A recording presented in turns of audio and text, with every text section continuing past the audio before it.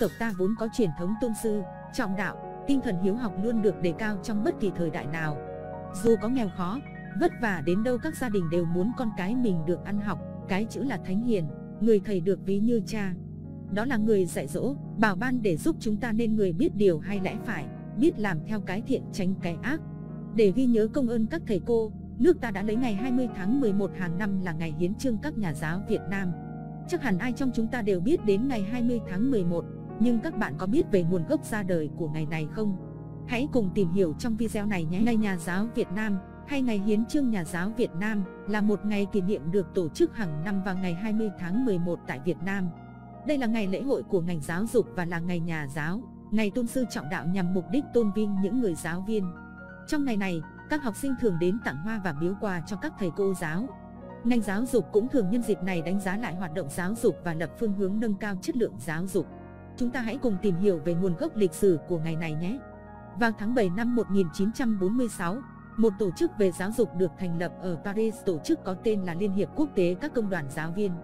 Đến năm 1949, tại thủ đô Warsaw của Ba Lan xinh đẹp, Hội nghị về giáo dục do FISA tổ chức đã ra bản hiến chương các nhà giáo. Bản hiến chương của Liên hiệp Quốc tế các công đoàn giáo viên gồm 15 chương, nội dung chủ yếu đề cao sự công bằng trong giáo dục, chống đối giáo dục tư sản, phong kiến, bảo vệ quyền lợi của giáo viên và nêu cao vị trí vai trò của nhà giáo. Công đoàn giáo dục nước ta tham gia tổ chức này từ năm 1953.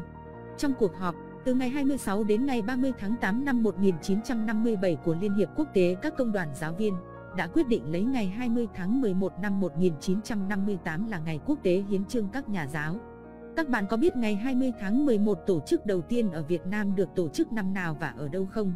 Đó chính là ngày 20 tháng 11 năm 1958, ngày này đã được tổ chức trên toàn miền Bắc. Lúc này nước ta còn đang trong thời kỳ chiến tranh, hai miền Nam Bắc chưa thống nhất. Những năm sau đó ngày 20 tháng 11 đã được tổ chức ở một số vùng giải phóng ở miền Nam Việt Nam.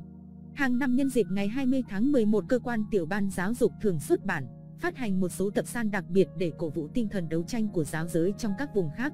Động viên tinh thần chịu đựng gian khổ của những giáo viên kháng chiến. Khi Việt Nam thống nhất, ngày này đã trở thành ngày truyền thống của ngành giáo dục Việt Nam.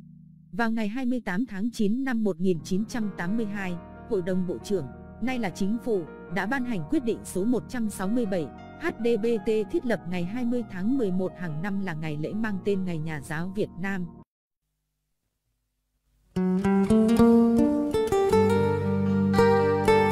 Có một lần thật bất chợt, tôi được nghe một bài hát, bài hát với giai điệu và ca từ tha thiết, chân tình, giàu hình ảnh như một câu chuyện kể.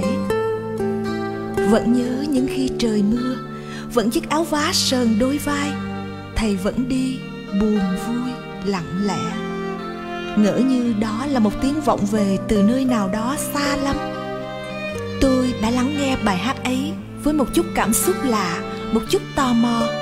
Sao giữa dòng đời bươn chải bộn bề cả âm nhạc và tâm hồn người cũng ngập chìm vào những lo toan, tính toán chuyện áo cơm, lợi danh, chuyện bán mua cả tình cảm, cả trí tuệ.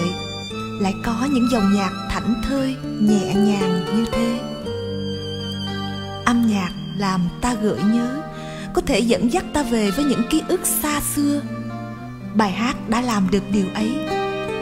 Tôi nghĩ đến những người thầy, những cô giáo ngày xưa của mình những người nghiêm khắc, những người dịu hiền, những người đã khuất, những người đã đi xa, những người tôi thoáng được gặp lại và cả những người tôi chưa một lần chợt nhớ trong cuộc sống khá nhiều lo toan của mình.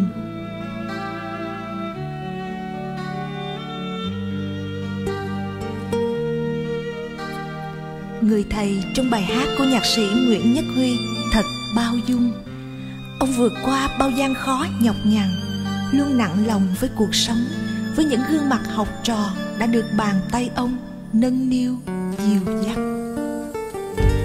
Tôi bỗng chợt nhớ đến lời của